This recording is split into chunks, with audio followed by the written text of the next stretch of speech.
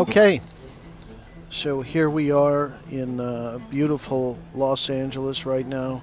It's about 75 degrees when some places in Phoenix are 120, and uh, just enjoying the beautiful weather, the beautiful scenery.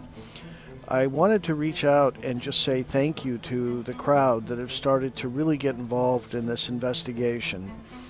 Uh, some information that we've been given I had a, uh, veteran, a former staff sergeant who was involved in convoy, uh, convoy security, reach out to me and talk to me about uh, how this would set up and how a military operation would work and he sent me over more information that I have to review. But it's kind of interesting to look at this all in context.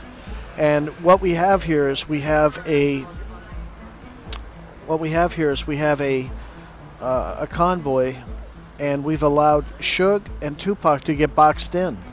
That's a no-no when it comes to security. And when you think about Reggie Wright Jr., who is the head of security, for him to allow that to happen, that's that's a malfeasance on his part, or it's a setup, and we know it's a setup because of the Gotham thing.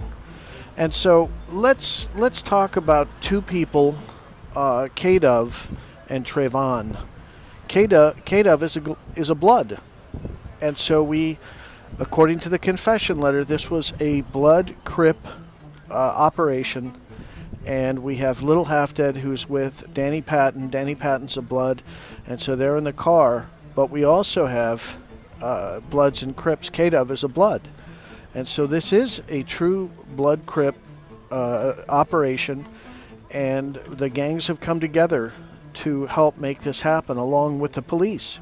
And Kevin Gaines, coincidentally or not coincidentally, he is very tight with uh, Orlando Anderson and Keefe D.